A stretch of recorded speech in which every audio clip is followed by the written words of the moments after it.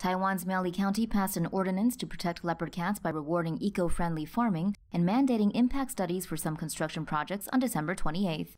Liberty Times reports that Miaoli is an important breeding ground for leopard cats, an endangered species in Taiwan.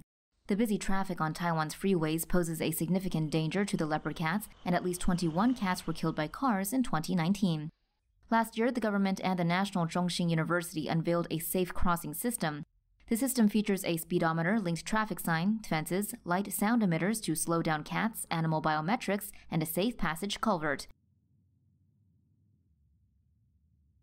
Liberty Times reports that Miaoli's laws would require construction of a certain size, such as roads over one kilometer long, to pass an environmental impact study before they are built.